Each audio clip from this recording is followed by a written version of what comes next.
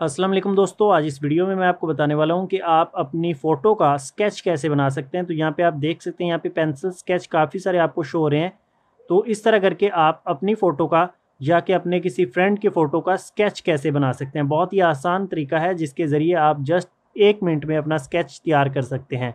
तो स्केच बनाने के लिए आपको एक एप्लीकेशन की ज़रूरत पड़ती है, जो कि आपको प्ले स्टोर पर मिलेगी।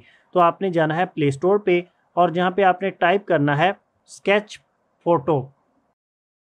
तो यहाँ पे जब आप सर्च करेंगे तो काफ़ी सारी एप्लीकेशन आपको यहाँ पे शो हो रही होंगी। तो यहाँ पे टॉप पे आपको फ़ोटो स्केच मेकर की एक एप्लीकेशन शो हो रही है तो इसको आपने यहाँ पे इंस्टॉल कर लेना है। मैंने पहले से ऑलरेडी कर रखा है तो इसे यहाँ पे ओपन करेंगे। ओपन करेंगे तो कुछ इस टाइप का इसका इंटरफेस है।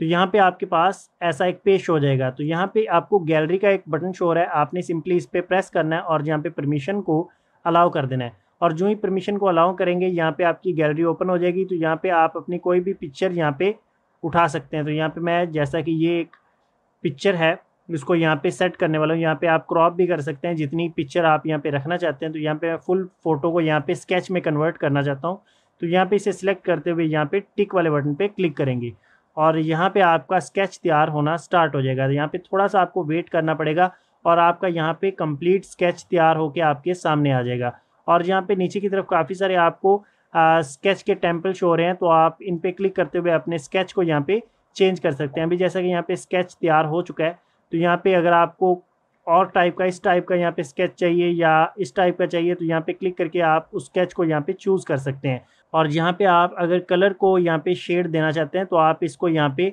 हल्का सा कलर भी दे सकते हैं या यहाँ पे फुल ब्लैक एंड वाइट यहाँ पे स्केच अपना तैयार कर सकते हैं स्केच तैयार करने के बाद आप यहाँ पे टिक वाले बटन पे क्लिक करेंगे तो इसके बाद आपको यहाँ पे नीचे की तरफ़ कंट्रास्ट और ब्राइटनेस के ऑप्शन मिल जाएँगे तो यहाँ पे आप कंट्रास्ट अपनी यहाँ पे मेंटेन कर सकते हैं तो यहाँ पे जितनी कंट्रास्ट आप रखना चाहें यहाँ पे सेट कर दीजिए उसके बाद यहाँ पे आपको ब्राइटनेस का ऑप्शन दिया गया है तो ब्राइटनेस यहाँ पे आप सेट कर सकते हैं तो जिस तरह आप यहाँ पे पिक्चर अपनी बना लेंगे तो उसके बाद आपने यहाँ पे इस बटन पे क्लिक करके अपनी पिक्चर को सेव करना होगा या यहाँ से आप फेसबुक इंस्टाग्राम व्हाट्सएप पे डायरेक्टली यहाँ पे शेयर भी कर सकते हैं। तो यहाँ पे मैं इसे सेव कर लेता हूँ। सेव के बटन पे जस्ट प्रेस किया और यहाँ पे आपकी ये जो फ़ोटो है, ये यहाँ पे सेव हो जाएगी। तो यहाँ पे आप देख सकते हैं, ये यहाँ पे सेव हो चुकी है।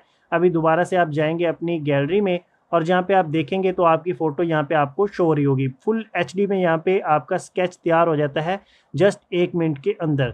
तो अगर आपको ये एप्लीकेशन अच्छी लगी तो कमेंट बॉक्स में ज़रूर बताइएगा। अगर मज़ीद कुछ पूछना चाहें तो आप पूछ सकते हैं। मिलेंगे एक नेक्स्ट वीडियो में एक नई एप्लीकेशन के साथ। तब तक के लिए अल्लाह हाफिज़।